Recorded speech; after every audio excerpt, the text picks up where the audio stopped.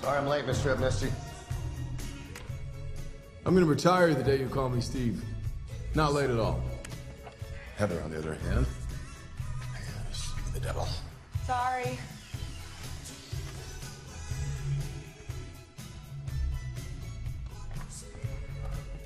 All right. Oh, oh how rude of me. Uh, Jeff, Heather, Heather, Jeff. Uh, for the record, either prior to or during your incarceration here at Spiderhead, have you two ever spoken? No. No.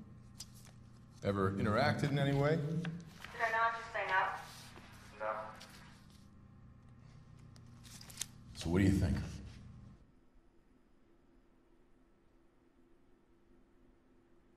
Who are you asking? I'm asking both of you. Let's start with Jeff.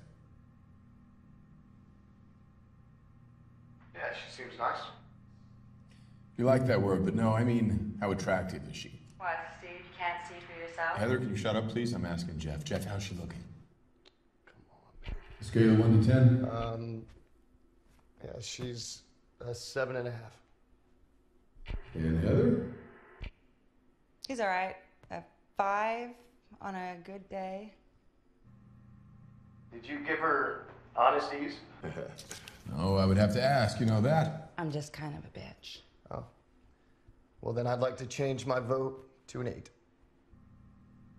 All right, uh, Jeff, Heather, can I have your permission to administer N40? Drip on?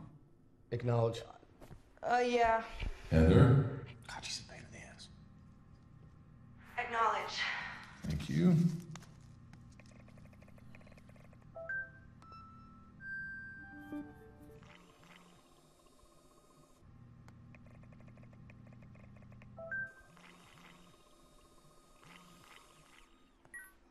Come on, guys. Words, words, words. Okay, yeah, she's starting to look pretty good.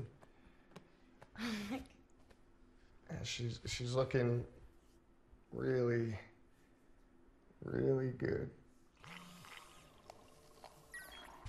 Heather?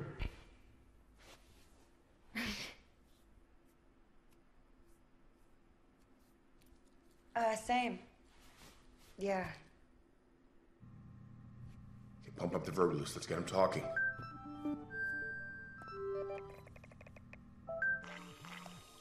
God, she's so beautiful. Yeah, don't tell us. Tell each other. You're.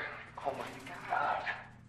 You're, you're stunning. You're gorgeous. I don't. I'm so sorry. I don't know why I didn't see it before. It's okay. You're, you're the most beautiful thing I've ever seen in my life.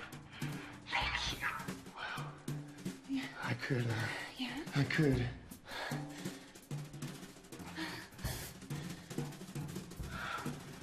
What, Jeff?